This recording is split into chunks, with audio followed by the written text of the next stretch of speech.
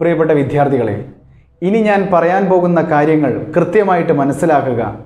നിങ്ങൾ plus two വരെ പഠിക്കുന്ന വിദ്യാർത്ഥികളിൽ ആരെങ്കിലും ആണെങ്കിൽ അല്ലെങ്കിൽ അവരുടെ പാരൻസോ ആണെങ്കിൽ അത് എട്ടായാലും ഒൻപതായാലും പത്തായാലും പ്ലസ് വൺ ആയാലും പ്ലസ് ടു ആയാലും പാരന്റ് ആണെങ്കിലും ശരി ആ വിദ്യാർത്ഥിയാണെങ്കിലും വീഡിയോ കംപ്ലീറ്റ് കാണണം. വെറുതെ എനിക്ക് വ്യൂ ഡ്യൂറേഷൻ കിട്ടാൻ വേണ്ടിയിട്ടല്ല. എന്റെ ചാനൽ ഓൾറെഡി മോണിറ്റൈസർ ആണ്. പക്ഷേ നിങ്ങൾ കാണണം. എന്താണെന്നറിയോ? നിങ്ങൾ പോലും നിസ്സാരമാക്കിയെടുക്കുന്ന ഒരു കാര്യം. അത് നിങ്ങളുടെ നിങ്ങളിലേക്കൊരു മുന്നറിയിപ്പ് നൽകാനാണ് ഈ ഒരു വീഡിയോ നിങ്ങൾക്ക് മാത്രമായി ചെയ്യുന്നത്. കോളേജുകാർ തൽക്കാലം സ്കിപ്പ് ചെയ്ത് പോയിക്കോളൂ. അല്ലെങ്കിൽ നിങ്ങൾക്കും വേണമെങ്കിൽ കേൾക്കാം. ജസ്റ്റ് ഒരു മോട്ടിവേഷൻ മാത്രമാണ്. അല്ലെങ്കിൽ ഒരു മുന്നറിയിപ്പാണ്. പ്രിയപ്പെട്ട പ്ലസ് ടു വരെ പഠിക്കുന്ന ഹൈസ്കൂളിലെയും ഹയർ സെക്കൻഡറിയിലെയും വിദ്യാർത്ഥികളെ നിങ്ങളെല്ലാവരും ഇപ്പോൾ കുറഞ്ഞ ദിവസങ്ങളായിട്ട് കേട്ടിട്ടുണ്ടാകും സ്കൂളുകളും കോളേജുകളും തുറക്കുന്ന വിഷയങ്ങളുമായി ബന്ധപ്പെട്ടുകൊണ്ട് ഡിസംബറിൽ തുറക്കുന്നു ജനുവരിയിൽ തുറക്കുന്നു ഫെബ്രുവരിയിൽ തുറക്കുന്നു മാർച്ചിൽ പൊതുപരീക്ഷ നടത്തും ഏപ്രിൽ ഇലക്ഷൻ ആയതുകൊണ്ട് മെയ്യിലായിരിക്കും പൊതുപരീക്ഷ. ഇങ്ങനെ വാർത്തകൾ ഓരോ ദിവസവും ചിലപ്പോൾ ഒരു ദിവസം തന്നെ രണ്ട് രീതിയിൽ വീഡിയോകൾ വരുന്നു. ഞാനടക്കമുള്ള യൂട്യൂബ് ചാനലുകൾ അങ്ങനെ ചെയ്യുന്നുണ്ട്. എന്നാൽ ഓൺലൈൻ മീഡിയകൾ ദൃശ്യമാധ്യമങ്ങൾ പലതരത്തിലുകളും വീഡിയോകൾ മറ്റു തരത്തിലാണ് വരുന്നത്. അവരും പറയുന്നത് മറ്റൊരു തരത്തിൽ ഇവിടെ സ്കൂളുകൾ തുറന്നു കഴിഞ്ഞാൽ നിങ്ങൾ ചിന്തിക്കുന്ന പല കാര്യങ്ങളും തെറ്റാണ്. സ്കൂൾ തുറന്നു കഴിഞ്ഞാൽ നടക്കാൻ പോകുന്ന കാര്യം നിങ്ങളൊന്ന് ദൃശ്യവൽക്കരിക്കണം. ഒന്ന് ഇമാജിൻ ചെയ്യേണ്ടതുണ്ട്. എന്താണെന്നറിയോ? ഈ സ്കൂൾ തുറക്കുന്നത് എന്തിനു വേണ്ടിയിട്ടാണ് രണ്ട് കാര്യങ്ങൾക്ക് വേണ്ടിയിട്ടാണ്. ഒന്ന് നിലവിൽ ഓൺലൈൻ ക്ലാസ്സുകൾ എവിടെയാണോ എത്തിയത്? അതിന്റെ ബാക്കി ഓഫ്ലൈൻ ക്ലാസ്സുകളായിട്ട് പെട്ടെന്ന് എടുത്ത് തീർക്കുക. പ്രത്യേകം ശ്രദ്ധിക്കണം. ഗവൺമെന്റ് പോലും കൊടുത്ത ഓർഡർ അങ്ങനെയാണ്. ജനുവരി പതിനഞ്ചിന്റെ ഉള്ളിൽ എസ് എസ് എൽ സിക്കാരുടെയും ജനുവരി മുപ്പതിന്റെ ഉള്ളിൽ പ്ലസ് ടുക്കാരുടെയും സിലബസുകൾ എടുത്തു തീർക്കണം. കുട്ടികളെ പഠിപ്പിക്കണം അല്ലെ കുട്ടികൾ പഠിക്കണം എന്നല്ല പറഞ്ഞത്. അധ്യാപകരത് എടുത്ത് തീർക്കണം. ഇനി രണ്ടാമത് സ്കൂളുകൾ തുറക്കുന്ന എന്തിനു വേണ്ടിയിട്ടാണ് റിവിഷൻ ക്ലാസ്സുകൾക്ക് വേണ്ടിയിട്ട്. പ്രാക്ടിക്കൽ ഒരു ഭാഗമാണ് അത് അവിടെ നിൽക്കട്ടെ. റിവിഷൻ ക്ലാസ്സുകൾക്ക് വേണ്ടിയിട്ട്. ഈ രണ്ട് കാര്യങ്ങളും കുട്ടികൾ മനസ്സിലാക്കുന്നത് വളരെ സന്തോഷമായിട്ടുള്ളൊരു കാര്യമാണ്. എങ്കിൽ ഞാൻ പറയുന്നു ഓൺലൈൻ ക്ലാസ്സുകൾ ഇതുവരെ കേൾക്കാത്ത തൊണ്ണൂറ് ശതമാനം വേണ്ട നൂറ് ശതമാനം വിദ്യാർത്ഥികൾക്കും ഈ റിവിഷൻ ക്ലാസ് ഒരു തിരിച്ചടിയായിട്ട് മാറും. തമാശ പറയല്ല പെടും എന്ന് പറഞ്ഞ എട്ടിന്റെ പണിയിൽ തന്നെ നിങ്ങൾ പെടും. കാര്യം എന്താണെന്നറിയോ? ഇപ്പോൾ ഫെബ്രുവരി ഒന്നാം തീയതി മുതൽ നിങ്ങൾക്ക് റിവിഷൻ ക്ലാസ് തുടങ്ങിയെന്ന് വിചാരിക്കുക. നിങ്ങൾ സ്കൂളിൽ ചെന്നു. മാത്സ് ആണ്.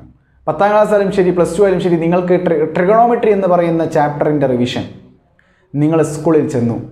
നിങ്ങൾ എന്താ വിചാരിക്കുന്നത്?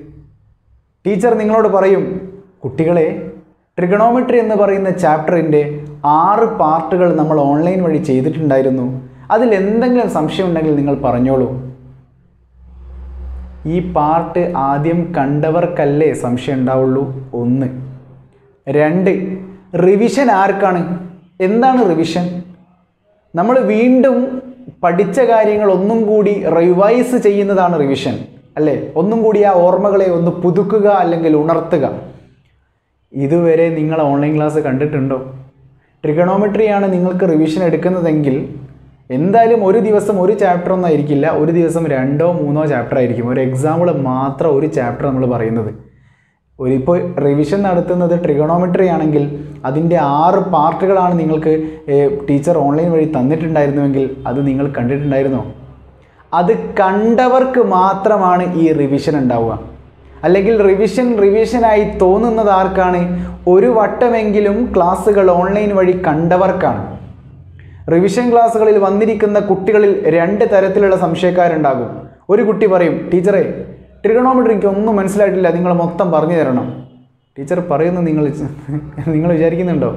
രണ്ടാമതൊരു കുട്ടി സംശയം ചോദിക്കുക ടീച്ചറെ ടീച്ചർ പാർട്ട് ടു ചെയ്തിട്ടില്ലായിരുന്നോ? അതിൽ ഈ ഒരു ചോദ്യത്തിൽ ഈ ഒരു സ്റ്റെപ്പ് എനിക്ക് മനസ്സിലായിട്ടില്ല. ആ കുട്ടിക്കാണ് റിവിഷൻ ആ കുട്ടിക്കാണ് റിവിഷൻ ക്ലാസ് കൊണ്ട് ഉപകാരം ഉണ്ടാവുക. കേവലം കുറഞ്ഞ ദിവസങ്ങൾ കൊണ്ട് നിങ്ങളുടെ എല്ലാ ചാപ്റ്റേഴ്സുകളും റിവിഷൻ എടുത്ത് റിവൈസ് ചെയ്ത് തീർക്കണം ടീച്ചേഴ്സിന് അതും ഒരു തീർക്കലായിട്ട് മാറിയേക്കും. പക്ഷേ ഈ റിവിഷൻ ക്ലാസ് റിവിഷനായിട്ട് മാറുന്നത് ആർക്കാണ്? ഒരു വട്ടമെങ്കിലും ഓൺലൈൻ ക്ലാസ്സുകളിൽ കൂടി തലോടിയവർ അല്ലെങ്കിൽ കടന്നു പോയവർക്ക് മാത്രമാണ് റിവിഷൻ റിവിഷൻ ആവുക. അല്ലാത്തവർക്ക് റിവിഷൻ ആദ്യമായിട്ട് കേൾക്കുന്ന ഒരു ക്ലാസ് ആയിരിക്കും. Sine square theta plus cos square theta cos square theta equal to one എന്ന് റിവിഷൻ ക്ലാസ്സുകളിൽ ആദ്യമായിട്ടൊരു കുട്ടി കേൾക്കുകയാണെങ്കിൽ തീറ്റേ ഇതെങ്ങനെ ഇങ്ങനെ വന്നു?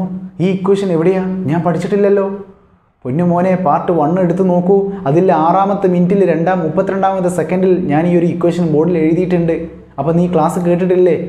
പെടും മക്കളെ പെടും. ഒരു വട്ടമെങ്കിലും ക്ലാസ്സുകളിലൂടെ കടന്നു പോയവർക്ക് ഓൺലൈൻ ക്ലാസ്സുകളിലൂടെ കടന്നു പോയവർക്ക് റിവിഷൻ റിവിഷൻ ആവുള്ളൂ. അപ്പോൾ നിങ്ങൾ ആലോചിച്ച് നോക്ക്.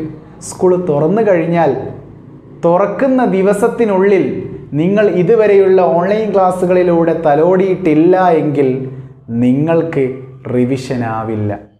നിങ്ങൾക്കത് പുതിയ ഒരു ക്ലാസ് ആയിരിക്കും റിവിഷൻ കഴിഞ്ഞതിന് ശേഷം നിങ്ങൾ വീണ്ടും റിവൈസ് ചെയ്യാൻ സമയം കിട്ടുമെന്ന് നിങ്ങൾക്ക് തോന്നുന്നുണ്ടോ?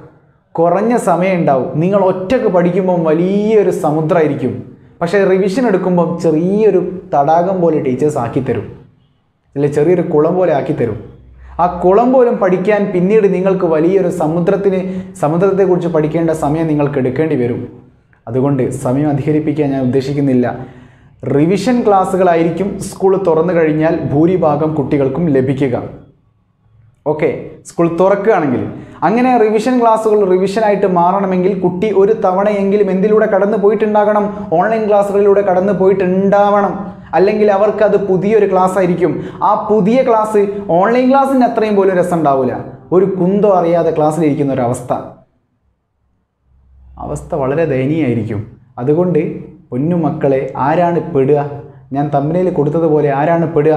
ഒരു വട്ടമെങ്കിലും ഒരു വട്ടം നിങ്ങൾ പഠിക്കണമെന്നും പോലും ഞാൻ പറഞ്ഞിട്ടില്ല ഒരു വട്ടമെങ്കിലും ഓൺലൈൻ ക്ലാസ്സുകളിലൂടെ കടന്നു പോയവർക്ക് ഏതോ ഒരു പാർട്ട് നിങ്ങളിപ്പോൾ എന്താ പറയുക കെമിസ്ട്രിയുടെ ഒരു പാർട്ട് കണ്ടെന്ന് വിചാരിച്ച് കെമിസ്ട്രിയുടെ ഒരു പാർട്ട് കണ്ട് എന്ന് വിചാരിച്ച് നിങ്ങൾ മാത്സിന്റെ ക്ലാസ് പോയിരുന്നാൽ നടക്കില്ല അല്ലെങ്കിൽ കെമിസ്ട്രിന്റെ ക്ലാസ് തന്നെ ഇരുന്നാൽ നിങ്ങൾക്കൊരു കുന്ത മനസ്സിലായില്ല എല്ലാം കാണണം.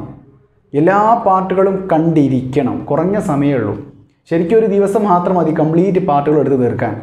കാര്യം ഒരു മുപ്പത് മിനിറ്റിന്റെ ഒരു പാർട്ടാണെങ്കിൽ ആ മുപ്പത് മിനിറ്റിൽ നിങ്ങളെ പഠിപ്പിക്കുന്നത് ഒരാഴ്ച ഒരു ടീച്ചർ ക്ലാസ് എടുക്കുന്നതിന് തുല്യമായിരിക്കും. അതാണ് ഓൺലൈൻ ക്ലാസ് തമ്മിൽ വ്യത്യാസം. അതുകൊണ്ടാണ് നിങ്ങൾക്ക് മനസ്സിലാകാത്തതും. ഒരുപാട് കാര്യങ്ങൾ കുറഞ്ഞ സമയത്തിൽ ഒതുക്കിയെടുക്കുമ്പോൾ നിങ്ങൾക്കത് ദഹിക്കാൻ കുറച്ച് സമയമെടുക്കും.